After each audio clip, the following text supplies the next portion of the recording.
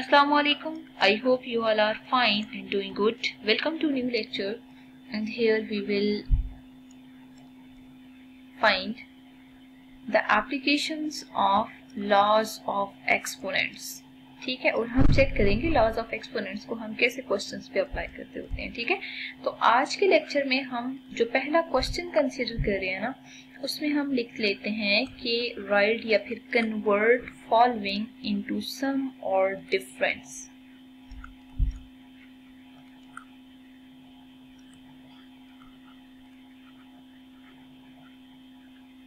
ठीक है? अच्छा अगर हमने इनको सम या डिफरेंस की फॉर्म में लिखना ना तो देखिए टेक्निक क्या होनी चाहिए। जैसे पहला वाला पार्ट हम कंसिडर करते हैं log of A multiply B ठीक है? अब देखिए हम प्रॉपर्टी बहुत डिटेल में डिस्कस कर चुके हैं प्रीवियस लेक्चर्स में डेट वाज कि अगर हम कोई भी नंबर लेते हैं जिसे लॉग ऑफ़ एम एन ले रहे हैं। दो नंबर्स हैं जो कि लॉग में मल्टीप्लाई हो रहे हैं। और उन नंबर्स में बेस कोई भी डिफाइन हो, हम उन दोनों नंबर्स पे अलग अलग लॉग तो अप्लाई कर सकते हैं बट उन लॉग्स के दरमियान में प्लस साइन भी लगाएँगे और बेस उसकी ए आ जाएगी, ठीक है? तो ये वो प्रॉपर्टी है जो कि हमने यूज़ करनी है, ठीक है? ये तो प्लस की प्रॉपर्टी थी ना? अब हमने ये भी देखा था कि अगर इन दोनों में डिवीज़न का साइन मौजूद हो मतलब एम अपॉन एन की कंडीशन हो तो फिर हम हमेशा लॉग ऑफ़ ए एम और log of N with base A को सब्ट्रैक्ट करते होते हैं, ठीक है? तो मतलब ये जो सेकंड प्रॉपर्टी हमने यहाँ पे लिखी है, वो सब्ट्रैक्शन के लिए है तो इन दोनों प्रॉपर्टीज़ को बेसिकली हम यूज़ करेंगे। आप देख सकते हैं कि log of A multiply B मौजूद है। ए मल्टीप्लाई बी का मतलब ये है कि हमने लॉग में इन दोनों नंबर्स के प्रोडक्ट को चेक करना है कि वो किसके इक्वल है, ठीक है? अगर ये सम या डिफरेंस की फॉर्म में लिखना चाहते हैं तो उन दोनों टर्म्स पे अलग अलग लॉग अप्लाई करेंगे। अप्लाई करने के बाद दरमियान में प्लस का साइन आ जाएगा। फिर आप देख सकते हैं, यहाँ पे लॉग की कोई बेस नहीं है। तो लॉग की बेस नहीं है, इसका मतलब है इसकी बेस टेन होगी, ठीक है? नेक्स्ट सेकंड क्वेश्चन पे मूव करते हैं और सेकंड क्वेश्चन में कुछ इस तरह की सिचुएशन है। लॉग ऑफ़ 15.2 अपॉन 30.5 की बने। ठीक है? अगर आपने इसको सॉल्व करना है ना तो अब आप देखें कि लॉग में दो नंबर्स डिवाइड हो रहे हैं। तो आप इन दोनों नंबर्स पे सबसे पहले तो अलग अलग लॉग अप्लाई करेंगे। अलग अलग लॉग अप्लाई करने के बाद आप दरमियान में सब्ट्रैक्शन का साइन यूज़ करेंगे। ठीक है?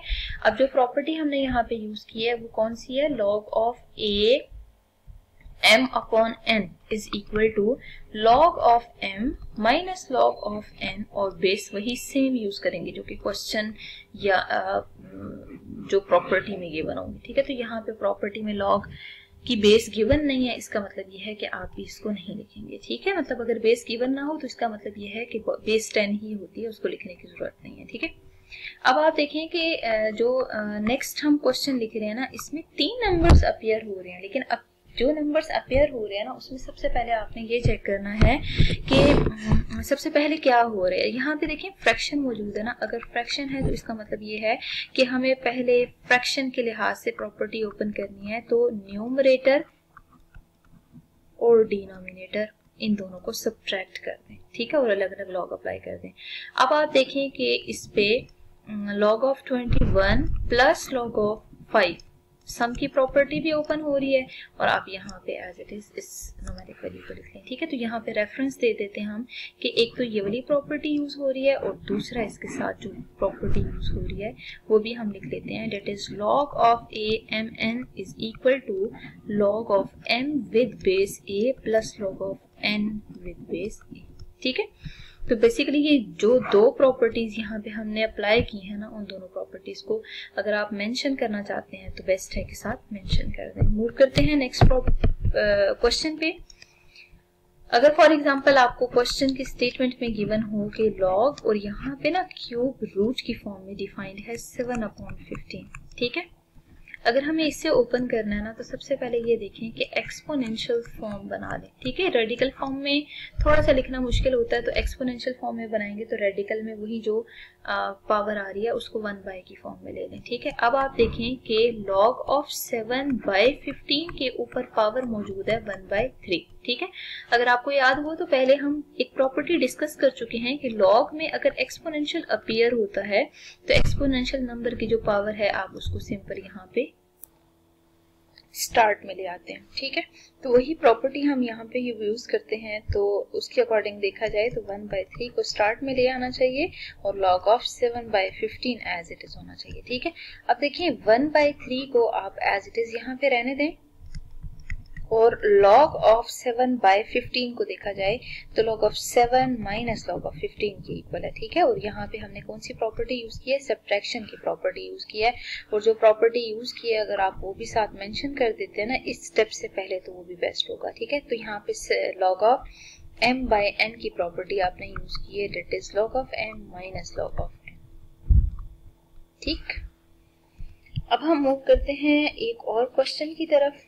और हम उसको भी सिंप्लीफाई कर लेते हैं, ठीक है? मतलब ये ऐसे क्वेश्चन है ना, जो रिलेट कर रहे हैं लॉज ऑफ़ एक्सपोनेंट्स से। तो मतलब हम सारे डिस्कस कर लेते हैं, जितने पॉसिबल हैं cases log of 22 raise to power one by three upon log of five raise to power three है, ठीक है?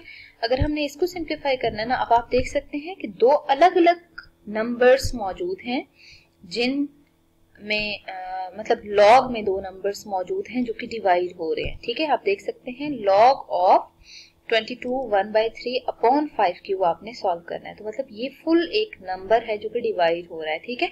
अब आप क्या करेंगे? लॉग ऑफ़ न्यूमरेटर और माइनस लॉग ऑफ़ डिनोमिनेटर है। ठीक है? Log of numerator minus denominator है तो अब आप यहाँ पे वन बाई थ्री को स्टार्ट में ले आए लॉग ऑफ़ ट्वेंटी टू है, और फिर थ्री को स्टार्ट में ले आए तो लॉग ऑफ़ फाइव है, ठीक है? तो मतलब अब आपने यहाँ पे लॉग को दिखा कि लॉग को कैसे हम सब्ट्रैक्ट करते होते हैं। तो केसेस अगर आपको क्लियर हो अगर लॉग की प्रॉपर्टीज़ क्लियर हो तो फिर आगे इनको सम या डिफरेंस की फॉर्म में लिखना मुश्किल नहीं है, वो हम डायरेक्ट भी लिख सकते हैं।